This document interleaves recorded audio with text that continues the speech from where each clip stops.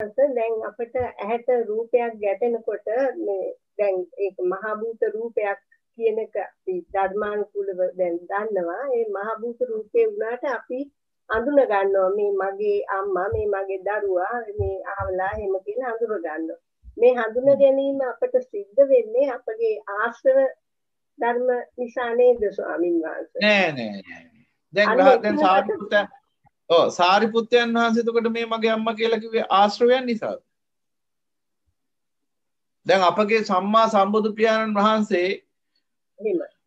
තෞතිසා භවනයට වැඩම කරා නේද? මාතෘ දිව්‍ය රාජානන් වහන්සේට ධර්මයේ දේශනා දැන් එතකොට ඒ පෙර භවයේ ඒ මහාමායා දේවී මෞතුමියයි කියලා ඒ පෙර භවයේ මෞතුමිය පස්සේ මාතෘ දිව්‍ය රාජා වශයෙන් අඳුරගන්නේ ආශ්‍රවයන්ගෙන්ද?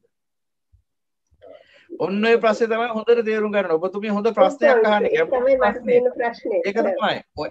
අඳුනා ගැනීම කියන එක ආශ්‍රවයන්ගෙන් නෙවෙයි සිද්ධ වෙන්නේ. අඳුනා ගැනීම කියන එක ආරම්භන විඥාන ලක්ෂණං චිත්තං. සිතකින් පුළුවන් රාගෙන්, දේශයෙන්, මෝහයෙන් තොරව ඕන දෙයක් අඳුර ගන්න.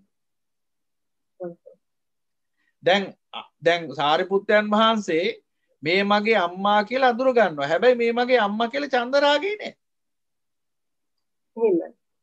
ඒකයි වෙනස තියෙන්නේ. දැන් හොඳට තේරුම් ගන්න ඕන චන්දරාගෙන් තොරව අඳුර ගන්න පුළුවන්. ඒක තමයි රහතන් වහන්සේගේ ස්වභාවය. එතෙන්ට තමයි අපි යන්න ඕන නේද ස්වාමීන්? එතෙන්ට තමයි ළඟා වෙන්නේ ක්‍රමානුකූලව. රාගදේශ මොහ අවසන් වෙනකොට අන්න ඔබතුමිය හොඳ ප්‍රශ්නයක් තව තවදුරටත් ඔගේ ගැඹුරක් මතු කරන්න පුළුවන්. දැන් මේ සිත තියෙනවනේ. මේ සිතට සිත කියන ක්‍රියාවලියට රාගදේශ මොහ කියන එක අයත්කාරයක් නෙවෙයි. කියන්නේ රාගදේශ මොහ කියන එක සිතට අවශ්‍ය කාරණා තුනක් නෙවෙයි. රාගදේශ මොහ කියන එක සිතට අදාළ නැහැ. සිතට ආගන්තුකයි මේවා. කියන්නේ සිතකින් කරන්නේ අරමුණක් දැනගන්න එක. ආරම්භන විඥානන ලක්කණං චිත්තං සිතකින් කරන්න පුළුවන් ලොකුම වැඩේ තමයි අරමුණක් දැනගන්න එක. හැබැයි ඒ අරමුණක් දැන ගැනීම ප්‍රභාස්වරයි පිරිසිදුයි. හැබැයි ඒ පිරිසිදු සිත පවත්තාගෙන යන්න බැහැ. මොකද ආරම්භයේ ඉඳලම මේක අනුසය සහිතයි. කියන්නේ දැන් සත්වයක් වශයෙන් උපදිනකොටම මේ සිත ප්‍රභාස්වර තිබුණාද නැත්නම් අනුසය සහිත සිතක්ද? උපදිනකොටම. ප්‍රභාස්වරයි ස්වාමීන්. උපදිනකොට ප්‍රභාස්වරයි කවුද කියන්නේ? උපදිනකොට මේ සිතේ රාගදේශ මොහනුස තිබුණේ තියෙන තියෙන ස්වාමීන්. එහෙනම් කොහොමද උපදිනකොට ප්‍රභාස්වර වෙන්නේ දිට්ඨි අනුසය විචිකිච්ඡා අනුසය කාමරාග අනුසය පටිඝ අනුසය ඊළඟට මාන අනුසය භවරාගනුසය අවිද්‍යානුසය කියන අනුස හතම තියෙනවා. මේ සිතේ. උපදිනකොටම. ඒනම් මේ සිත උපදින් ප්‍රභාසර එකක් නෙමේ මේ සිත කිලුට වෙලාමයි උපදින්නෙම. ඒකයි සත්වයක් වසින් උපදින්නේ. නැත්තම් මේක පිරිසිදුනම් රහතන් වහන්සේ පය උපදින්ට එම රහතන් වහන්ස කෙනෙක් එහෙම මරණින් පසු උපදිනෝ කියල කන්නෑ නිති ඉතින් එහෙනම් දකිින්ඩ ඕන එහෙනම් අන්න එහෙනම් ඔන්න ඔත්තන තියෙන යම් ගැබුරු කාරණාවක් ඒ තමයි සිත කියන එක අපට පිරිසිදු අත්දකින්න පුළුවන් කමක් නැහැ මේ අනුසයන් තියෙනකම්. එහෙනම් රාගදේශමෝ අනුසයන් තියෙනකම් අපි හැමතිස්සෙම අත්දකින්නේ විකෘතිය.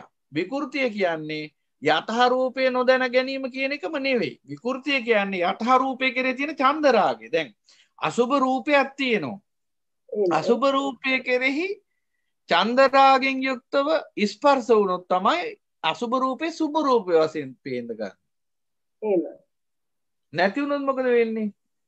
ඒ අසුභ රූපේ අසුභ වශයෙන්ම පේන්න ගන්නවා. එතකොට ඒ අසුභ රූපේ අසුභ වශයෙන් පේනවා කියන්නේ යතහ රූපේ පේනවා කියන එක. එතකොට දැන් අම්මා හෝ තාත්තා හෝ නැගණිය හෝ යනාදි වශයෙන් ගිහි ජීවිතයේදී බිරිඳ හෝ සැමියා යනාදි වශයෙන් ඒ ඒ අය ඒ විදිහටම අඳුර ගන්නවා. හැබැයි මොකද වෙනසකට තියෙන්නේ?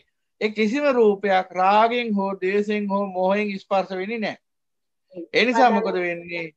ඒ නිසා මොකද වෙන්නේ? කවුද කින්ද මන්ද කියලා පුද්ගලයෙක් වශයෙන් අඳුරගන්නවා හැරින්ද ඒ පුද්ගලයා පිළිබඳ චන්දරාගයක් හටගන්නේ නෑ එක්ක දේශයක් හටගන්නේ මෝහයක් හටගන්න රාගදේශ මොහ තුනෙන්ම විනිර්මුක්ත වෙච්ච දැනීමක් විතර එතන තියෙන්නේ. උපේක්ෂ සති පාරිශුද්ධ දැනීම ඒකයි රහතන් වහන්සේගේ දැනීම. එහෙනම් අම්මා කියලා දැනගන්න එක තුල කෙලස් තියෙනවා කියලා කවුරු හරි කියනවා නම් එතන තියෙන්නේ අනවබෝධය පිළිබඳ ප්‍රශ්නයක් එහෙම දැනගන්න බෑ දැන්. දැන් ඕක ඕක අන්තයකට ගියාට පස්සේ තමයි කිව්වේ අම්මා කියලා නෙමෙයි ඊට පස්සේ පේන්නේ මහා භූත රූප ගොඩක් කියලා නේ. එහෙමයි ස්වාමී ඊට පස්සේ කියනවා අම්මා කියලා කෙනෙක් නැහැ මෙතන. මෙතන තියෙන පඨවි ආපෝ තේජෝ ආයෝ මේ භූත ගොඩක් කියලා. ඔව් විඤ්ඤාණ හරි දැන් මට දැන් මෙහෙම ප්‍රශ්නයක් අහන්නම්කෝ දැන් අම්මා කියලා කෙනෙක් නැහැ එතකොට අනබන නත්ති මාතා නත්ති පිතා කියන මිත්‍යා දෘෂ්ටියටත් වැටුණා. අර දසවස්තුක මිත්‍යා දෘෂ්ටියටත් වැටිලා. ඊට පස්සේ දැම්මකෝ වෙන්නේ? දැම්මකද වෙන්නේ බලන්න. දැන් අම්මා කියලා කෙනෙක් නැහැ. එතන තියෙන්නේ මොනවද? පඨවි ආපෝ තේජෝ ආයෝ මහා භූත රූප කියලා කියනවා. දැන් ওই ටික තමයි උතන තියෙන්නේ. අම්මා කියලා දකින්න එක අවිජ්ජාවයි කියලා කියනවා එතකොට දැන් ගහක් තියෙනවා ගහෙත් තියෙන්නේ මොනවද පඨවි ආපෝ තේජෝ ආයෝ නේ ආ හරි දැන් ඔය ගහ කපලා දානවා ඒ වගේම අම්මගේ බෙල්ලත් කපලා දානවා දැන් එතකොට පාපය සිද්ධ වෙන්න හේතුවක් නැහැ නේද? ගැටලුවක් නැහැ නේ අයියේ. මට හරි කියන්න පුළුවන්. අම්මා කියලා එක අවිද්‍යාවයි තිබුණේ මං අවිද්‍යාව කපහැරිය. කපලා හැරි. මෙතන දිනේ පටු ව්‍යාපෝ තේජෝ වායු ධාතු ටිකක් විතරයි. හරි ලස්සනයි ධර්මයේ. නිරේට ඇදහෙලා නිමිත්‍යා දෘෂ්ටිය. නිරේට රැගෙන යන්නේ නිරේට රැගෙන යන්නේ බුදු පියාණන් වහන්සේ දේශනා කළේ මේ වගේ අන්දර දෙමලයක් නෙමෙයි බුදුරජාණන් වහන්සේ දේශනා කරලා තියෙන්නේ මොකද්ද? සියල්ල යථා පරිදි යථා රූපේ දකින්න සියල්ලක හිතින චන්දරාගේ පහ කරන්න කෙලෙච්ච. චන්දරාග. වදානෙන් චන්දරාගේ පහ කරපු දවසට චන්දරාගේ පහ කරපු දවසට රහතන් වහන්සේට රොබෝ කෙනෙක්ට වගේ පෙනී කියලා දෙනී කියලාද හිතන් ඉන්නේ.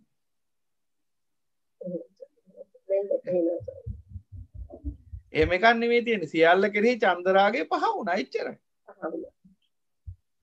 නැතුව මේ පේන්න තියෙන විකෘති වල පේන එකක් නෙවෙයි තියෙන්නේ. යථාරූපේ පේනවා කියන්නේ චන්දරාගෙන් තොරව දකින්නවා කියන එක. දැන් චන්දරාගෙන් දැක්කොත් තමයි දැන් උදාහරණයක් ගමුකෝ.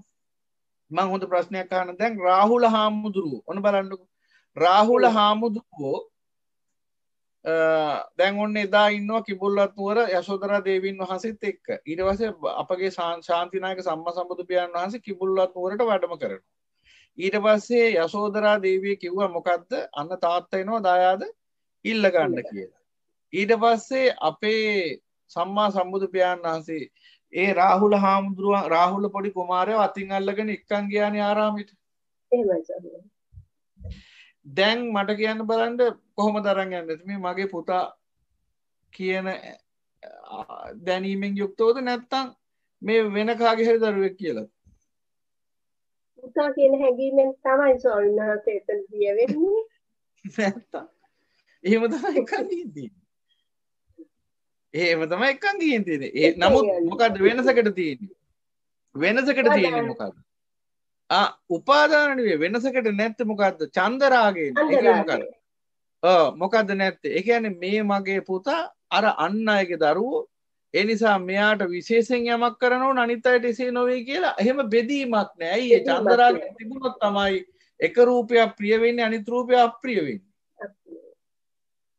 එහෙනම් උන්වහන්සේට රාහුල හාමුදුරුවන් උත් එකයි අනිත් දරුවොත් එකයි. හැබැයි මේ ගිහි ජීවිතේ තමන් වහන්සේ නිසා හටගත්ත දාව දරුවා කියන එක අමතක වෙන්නේ නෑ.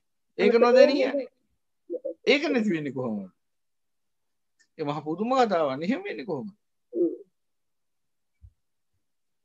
එහෙම ගත්තනම් අර අර සාරිපුත්තයන් වහන්සේ ඇවිල්ලා රේවත හාමුදුරුවෝ ඒ වගේ චොන්ද හාමුදුරුවෝ ඊළඟට අර උපවාන උපසේන හාමුදුරුවෝ ඇවිල්ලිවරලා අර චාලා සිසූපචාලා චාලා උපචාලා සිසූපචාලා කියන නැගණියන්ට ඇවිල්ලා කියන්නේ ඔබ ඔබගේ මේ මලන්ඩි ආව ඔබගේ අයියන්ඩි ආවා කෙසේද නැගණියනි කෙසේද අක්කන්ඩිය සැපසේ වසනවද කියලා රහන්නේ වෙල්ලා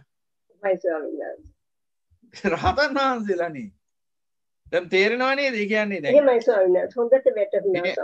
මනුස්ස ධර්ම ඉක්මවල උත්තර මනුස්ස ධර්ම වලට ආව කියන්නේ මනුස්ස ධර්ම ටිකක් නැති වුණා කියන එක. එහෙමයි. චන්ද්‍රාගය තමයි චන්ද්‍රාගේ නෑ එච්චර වෙනසකට තියෙන්නේ. නැතු මනුස්ස ධර්ම ඉක්මවලා උත්තරී මනුස්ස ධර්ම වලට ආවට පස්සේ උන්වහන්සේලා තුල මනුස්සයන්ට වඩා උසස් ගුණ ධර්මයේ පැපෙන්නේ. අර මනුසයන් තුළ තියෙන ගුණ ධර්ම ටිකක් නැති වෙලා යනවා නම් රහත් වුණාට පස්සේ ඉතින් කොහොමද ඒකට උත්තරී මනුස්ස ධර්ම කියන්නේ? ගුණයෙන් ඥාණයෙන් පූර්ණ වෙන උතුමන් වහන්සේලා බුදුරජාණන් වහන්සේ සහ උන්වහන්සේගේ ආර්ය ශ්‍රාවකයෝ කියන්නේ. බුදුරජාණන් වහන්සේ අග්‍රප්‍රාප්තු තුමන් වහන්සේ බුදුරජාණන් වහන්සේගේ ශ්‍රාවකයෝ කියන්නේ ඒ ගුණයෙන් ඥානයෙන් පූර්ණ පිරිසක් හැබැයි පරම මට්ටමට නෙවෙයි. පරම මට්ටමට ගුණය පූර්ණ වෙන්නේ ඥානය පූර්ණ වෙන්නේ අපගේ සම්මා සම්බුදු පියාණන් වහන්සේට පමණයි. එහෙනම් උන්වහන්සේගේ අනුගාමී කවුරස බුද්ධ පුත්‍රයන්ටත් ඒ ඥානීය ගුණය පූර්ණ වෙනවා. මනුෂ්‍ය ධර්ම ඉක්මල උත්තරීය මනුෂ්‍ය ධර්ම වලට ලක්පත් වෙනවා. ඒකේ තේරුම මේ ලෝකයේ කෙරෙහි නිකන් අර මොකක්ද එකක් වගේ නාස්තික දෘෂ්ටියක් ඇති වෙන එකක් එහෙම නෙවෙයි. නිකන් අද රහතන් වහන්සේව නිකන් අද තරකන් නිකන් රොබෝ කෙනෙක් වගේ නේ නිකන් අර දැන් කිව්වහම නිකන් රහත් ඵලයට වතු රාගදේශම අවසන් වුණා කොහොම සංවේදනයක් නැති පුද්ගලෙක් හැටියට දකින්න යන්නේ. සංවේදී භාවයක් නොතිබුණා නම් රහතන් වහන්සේලාට ලෝක සත්‍යය කෙරෙහි අනුකම්පාවෙන් තථාගත ශාසනය පවත්වාගෙන යන්න පුළුවන්ද? ඒක තමයි කියන්නේ. එක එකන හදාගත්ත චන්දරාගයයි පහවෙන්නේ චන්දරාගයක් නෑ. මොකද ඒ ලෝකේ ඇසුරු කරන්නේ ආස්වාදය පිණිස නෙවෙයි. යන්නේ එකයි වෙනස. රූපය දකිනවා. රූපය පරිහරණය කරන හැබැයි රූපය පිළිබඳ චන්දරාගයක් නෑ. වේදනාව පරිහරණය කරන වේදනා පිළිබඳ චන්දරාගයක් නෑ සංඥාව සංකාර විඤ්ඥාන පරිහරණය කරන කිසිවක් පිළිබඳ චන්දරාගයක් නෑ. එච්චරයි වෙනස. පැහැදිලි සොල්න්නස වැරදි අවබෝධයක තමයි බොහොම පැහැදිලි. ඔබ වහන්සේට බුද්ධ ගොඩාක් පින් සිද්ධ වෙනවා